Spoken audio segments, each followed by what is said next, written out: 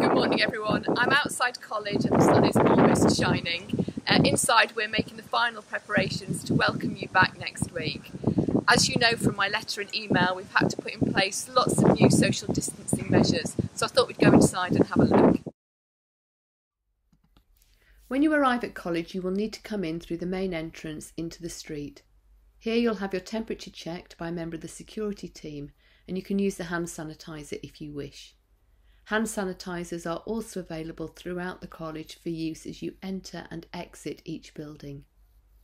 There is a one way system in place, so please take notice of this and follow the signage carefully. All areas of the college can be accessed via the street, at each entrance, there is a floor plan which shows you the direction of flow around the building.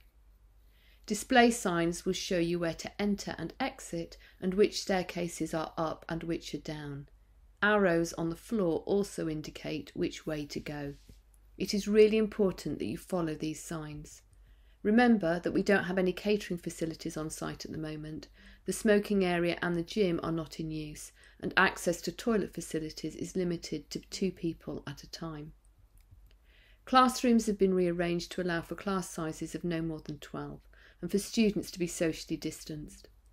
We have had to control numbers very carefully to meet government guidelines. This is why you've been asked to stick to the timetable that you have been given. Unfortunately, we are not able to adjust timetables to suit personal preferences. We will be cleaning the whole site regularly as part of our infection control measures. Classrooms, including desks, chairs, and keyboards, will be cleaned thoroughly before and after each two hour teaching session. There will also be cleaning products available in each room should you wish to wipe down your own desk or workstation.